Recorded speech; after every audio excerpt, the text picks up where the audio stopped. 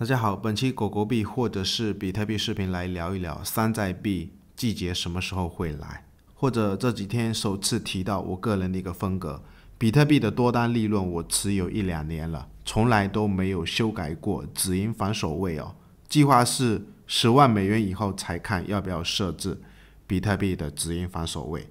目前一直全部都是成本止损来反手，包括狗狗币也是一样。两年的底部都是只止损不止盈，那上一次有做对狗狗币的利润，目前也还是在成本止损来防守，没有平仓，而且这两天感觉一个好现象，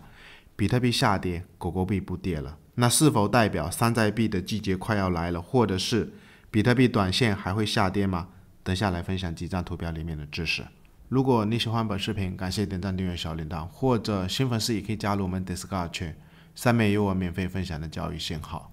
我们先来看一下狗狗币周线的这张图表，或者是山寨币季节什么时候会来？可以明显的观察一下狗狗币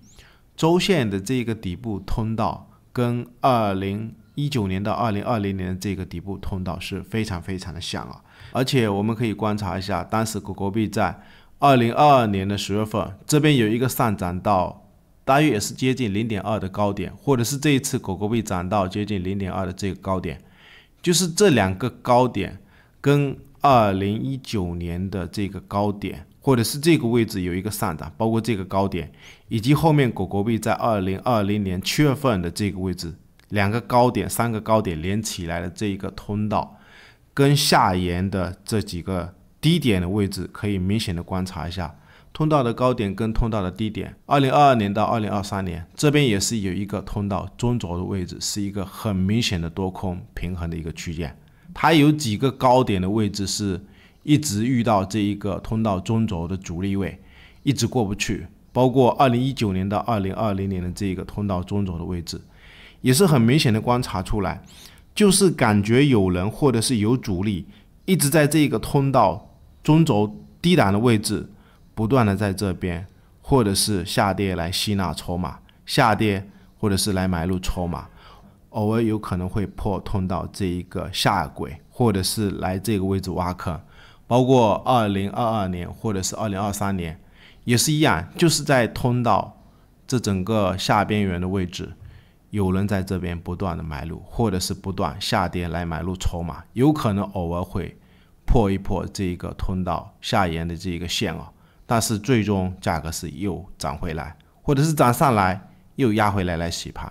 然后现在我的观点是，它目前已经是突破了这个中轴的一个压力，或者是目前变成支撑。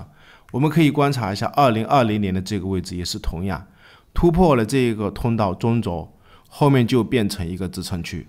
我们可以观察一下这一根 K 线啊，前面也是有跟大家讲过。狗狗币一般在牛市或者是山寨币的季节要来的时候，或者是山寨币季节在进行的区间里面，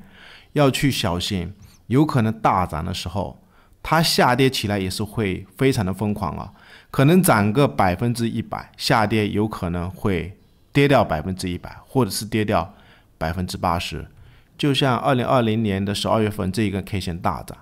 可以看一下这一根下影线的低点。把这根上涨全部都给跌破掉，或者是后面狗狗币在这个位置突破了这个通道上轨的位置，我们留意一下，就是二零二零年的十二月份，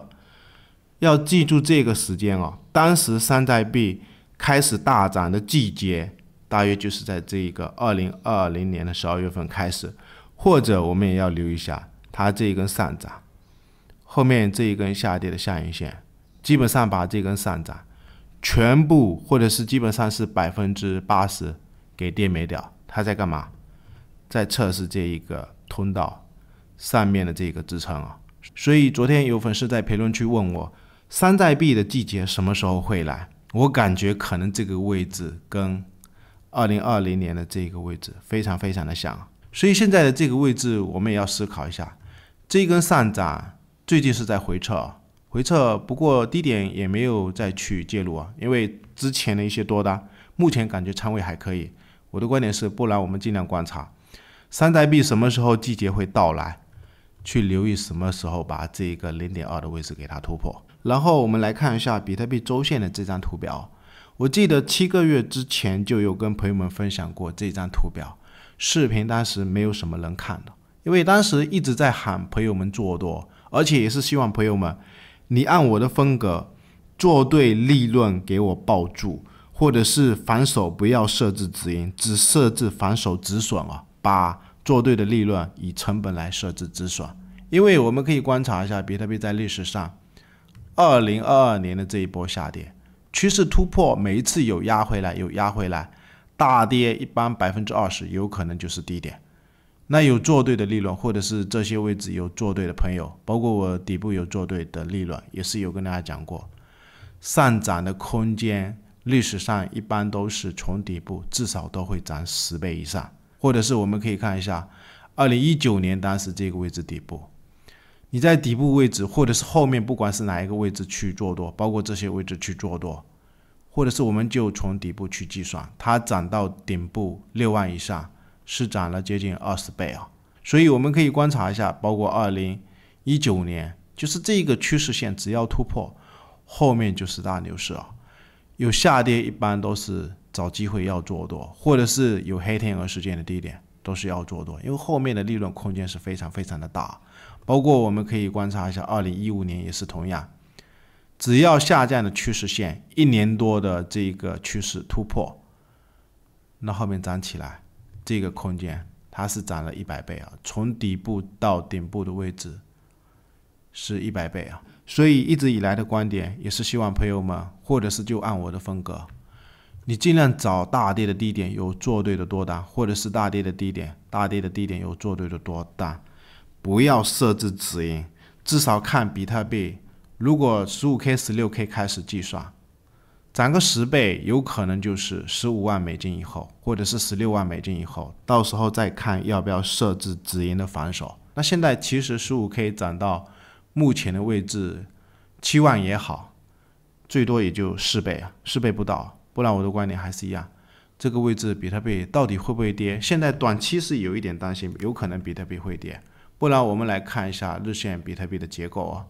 昨天有提到这个位置估计可能还是在整理啊，因为我感觉六万九是短线的一个压力位哦，它并不是长线的。那昨天这一根下跌，不然我的观点，短期我们尽量观察，要继续保持强势，或者是不要让它下跌，就是这个六万四可不能跌破，它是这两根 K 线的一个低点。或者是就是前面这个整理区的高点位置，就是这个整理的平台，六万四千美金，短期不能跌破。最后感谢大家收看订阅我们。